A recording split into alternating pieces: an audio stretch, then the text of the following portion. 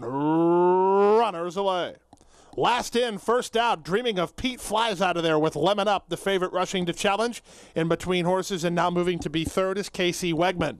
From the outside, moving up now is both Relativity Factor and He's a Miracle, two and a half lengths in front of Distorted Image. Then down to the inside, it's Huddy Up, Oliver Rush between horses, and it's a distance of about 12 lengths to Grease Paint.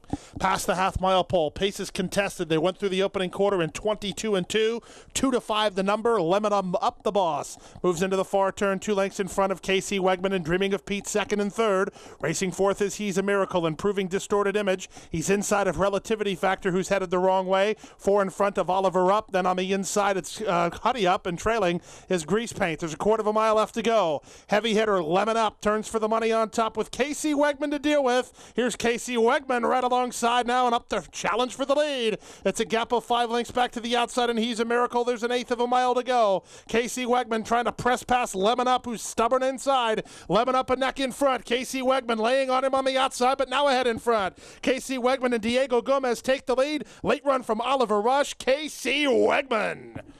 Hands the odds on favorite on Lemon Up a defeat, who was second in front of Oliver Rush, third, fourth, Distorted Image, and fifth, He's a Miracle.